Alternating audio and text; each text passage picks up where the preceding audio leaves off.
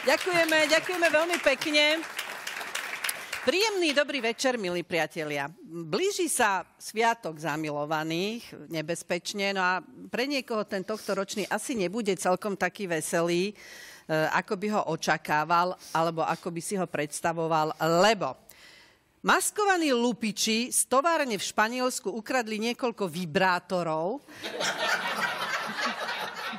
pokrytých ale pozor, pokrytých 24 karátovým zlatom, a teraz vás prejde smiech, pričom každý z nich má hodnotu 17 tisíc eur.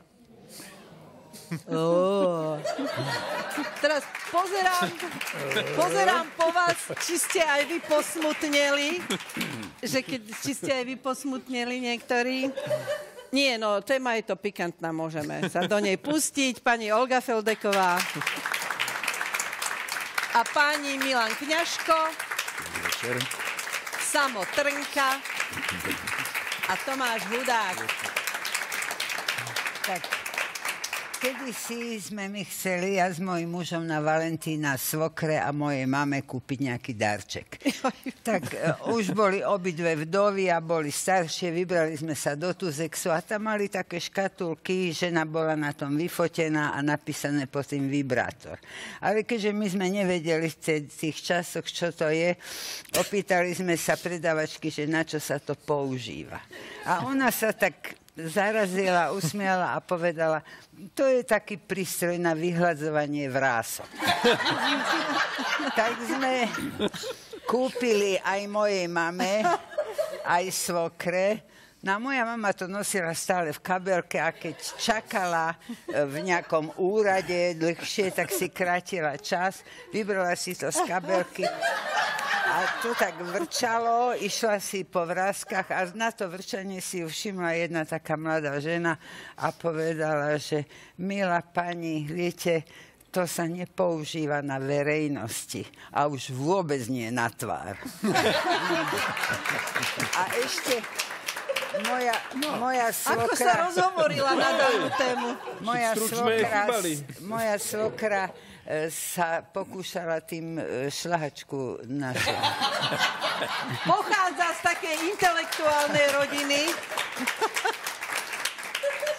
No, chlapci, vibrátory. Ja, ja, ja som pri tomto pochopil, prečo si niektorí ľudia hovoria Zlatko.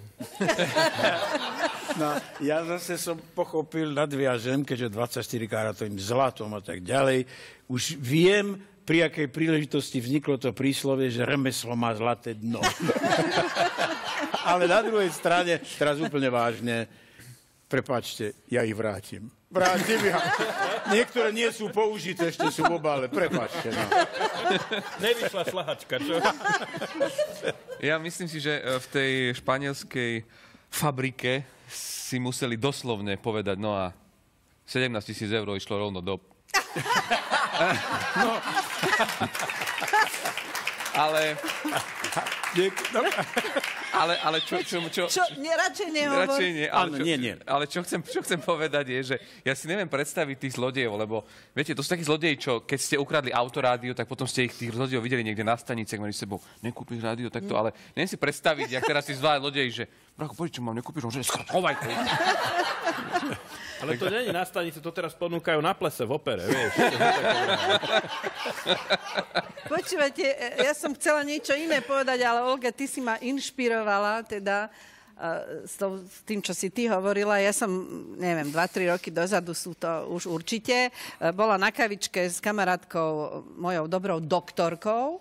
V nákupnom centre sme sedeli a ona mi chcela ukázať rúž, ktorý si kúpila, že nejaká pekná farba a vykladala z tej kabelky tie veci na stôl, nevedela ho nájsť a zrazu vibrátor tak aj ona ostala taká zaskočená. Ja tiež som to chcela odľahčiť, tak hovorím, Ježiš Maria, hovorím, že toto je zaujímavé a že ja, toto ma ako si v živote obišlo.